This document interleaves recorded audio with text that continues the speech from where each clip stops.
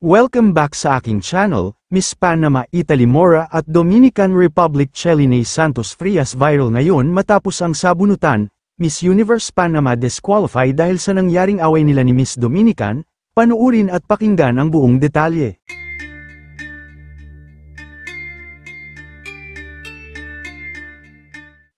Agad nang nag-viral sa social media ang naging sabunutan ni Miss Universe Panama Italy Mora at Dominican Republic Cheline Santos Frias, ayon sa balita ay dinala umano ni Miss Panama ang kanyang boyfriend sa room nila ni Dominican Republic dahilan upang magalit ang kanyang roommate at magsumbong sa Miss Universe organization.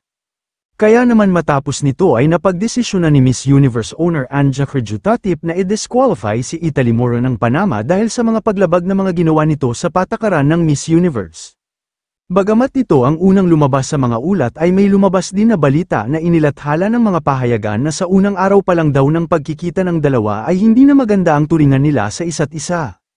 Dahil ayon sa ulat sa unang araw pa lang nila na magkasama sa Mexico ay napansin daw agad ni Panama ang pagiging mayabang at maere ni Dominican Republic, napansin din ito ng iba pang Miss Universe candidate ang pagiging maa-attitude ni Miss Dominican. Ayon pa sa ulat ay wala daw ginawa si Miss Dominican Republic kundi asa rin si Miss Panama.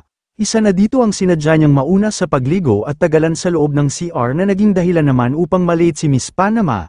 Hindi lang daw ito ang unang pagkakataon na inasar ni Miss Dominican si Miss Panama, may mga pagkakataon pa daw na binubuli niya ito. Na naging dahilan naman upang sumabog na sa galit si Miss Panama at patulan na ang mapang asar na si Miss Dominican Republic, kaya naman nauwi sa sabunutan ang kanilang pag-aaway. Nang makarating daw ito sa Miss Universe owner na si Anja Crejutatip ay agad na gumawa ito ng aksyon na naging mitya naman upang ma-disqualify si Miss Panama dahil sa nauna itong sumugod at sumabunot kay Miss Dominican Cheline Santos Frias. Ayon pa sa mga chismis, sinadya daw talaga ni Miss Dominican na asarin si Miss Panama upang sa gayon ay patulan siya at mauna itong saktan siya upang maging dahilan para ma-disqualify ito, dahil nga sa pagiging malakas ni Miss Panama at matalino dahil alam daw ng lahat na ito ang mananalo, idagdag mo pa dito ang pagiging maganda nito. Inggit daw ang nag-udyok ay Miss Dominican upang sirain si Miss Panama dahil sa pagiging matalino at maganda nito. Naniniwala naman ng fans ni Miss Panama na kaya siya ang na-disqualify ay dahil si Miss Dominican Republic Cheline Santos Frias ang paborito umano ng Miss Universe Organization. Samantala, ayon naman sa official statement ni Miss Panama Italy Mora, inamin niya ang totoong dahilan kung bakit natanggal siya sa competition. Aniya, on November 1, 2024, I was informed of my withdrawal from the Miss Universe pageant, as I was preparing to attend the gala evening, the organization informed me of its decision that I should leave the competition.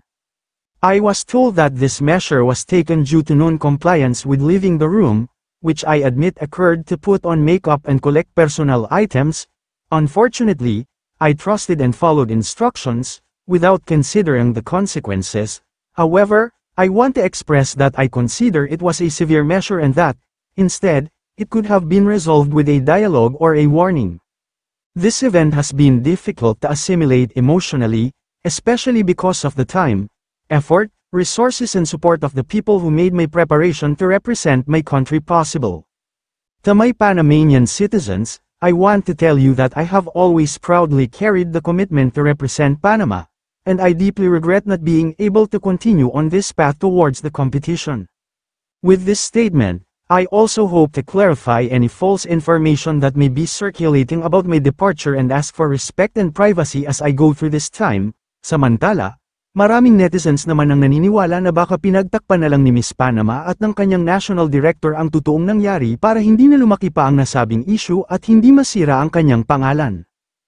Kayo mga ka-showbiz anong masasabi nyo sa ating showbiz topic ngayon? Kung may opinion kayo ay magkomento lang kayo sa aking comment section. At syempre kung bago pa lang kayo sa aking channel ay mag-subscribe na kayo para lagi kayong updated sa mga showbiz trends na ina-upload ko. Maraming salamat po.